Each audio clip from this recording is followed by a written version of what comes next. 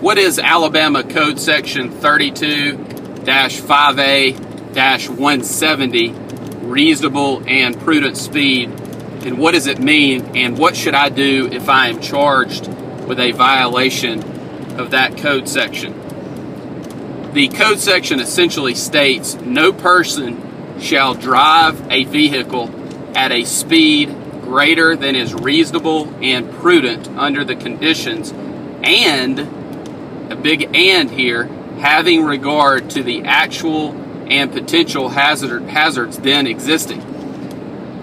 It goes on to state in great detail, consistent with the previous statement, every person shall drive at a safe and appropriate speed when approaching and crossing a few areas. One is an intersection. So if you're approaching an intersection, this section applies, or a railroad grade crossing when approaching or going around a curve, a hill crest, or when traveling upon a narrow or winding roadway, and when special hazard exists with respect to pedestrians or other traffic, or by reason of weather or highway conditions.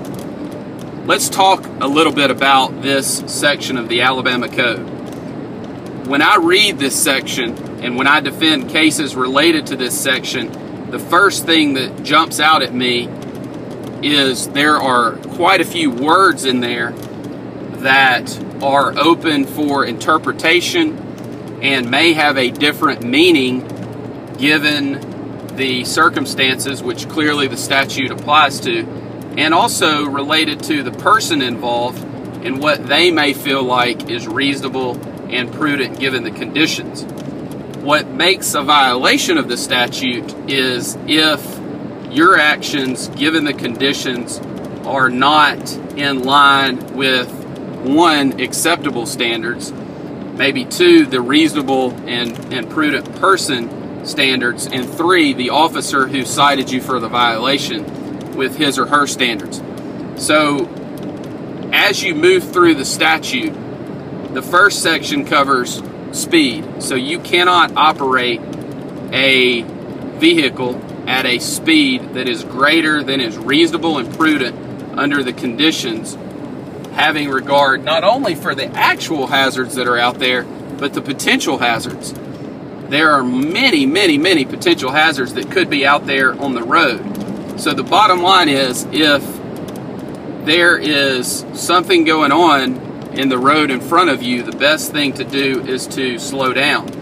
The other issue that comes up with regard to this section is section 32-5A-171, which is the minimum and maximum limits speed limit section.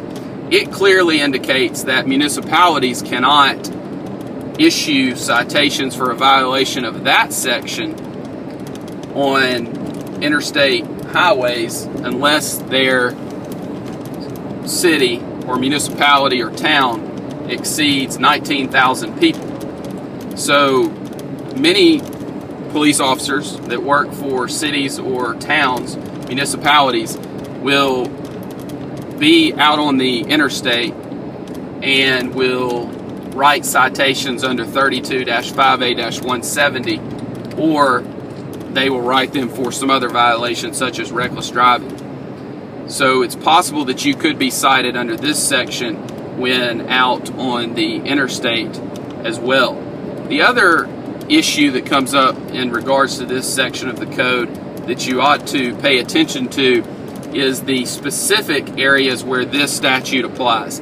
Not only does it apply out on the, the general roadway, but they, they make a point to mention when you are approaching a hill crest, uh, going around a curve, crossing an intersection, or a rail uh, railroad crossing and it also applies for a narrow road or a special hazard exists, which presumably would be it is raining, it is snowing, it's icy, whatever the special hazard might be. And it could be that there's a large crowd of people out on the roadway, maybe leaving a, an event, and if an officer cites you under this section of the code, their argument may be that because there were pedestrians around and you were driving uh, maybe too fast for conditions, then they may cite you under this reasonable, reasonable and prudent speed section of the code. The bottom line that you need to remember is if there is any special hazard or if you're approaching an intersection, going over a hill crest, or if it's raining, snowing, then you need to back off the speed some to make sure that your conduct is reasonable and prudent given the circumstances and that your speed is as well. This section of the statute of the code is extremely, extremely subjective in an officer's viewpoint, and many times, sometimes wrong and sometimes rightfully so, their opinion or their belief or their legal conclusion about what is reasonable and prudent under the circumstances can be very different from what I think or what you think or what other people out in the community think. So it's important for you to understand what the statute means and for you to understand how to operate within the statute to avoid a citation. If you're charged with a violation of section 32-5A-170, reasonable and prudent speed in Alabama, we can help you. I'm Joseph C. Kreps. I represent thousands of people in the state of Alabama for violations of traffic citations and traffic rules and the rules of the road in Alabama.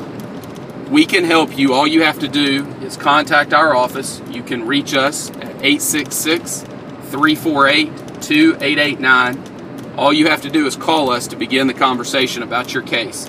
Again, you can reach us at 866 348 2889 or on the web at traffic ticket attorney in alabama.com or you can also reach us at alabama alabamaspeedingticket.com.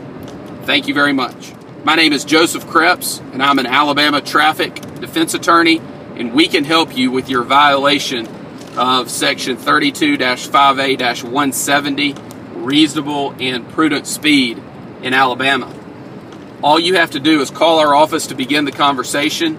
You can reach us at 866 348 2889. We have represented thousands of people who have been charged with traffic offenses in the state of Alabama, and we can help you. All you have to do is call us to begin the conversation. 866 348 2889. You can also reach us on the web at traffic ticket attorney in alabama.com or alabama speeding ticket.com. Thank you very much.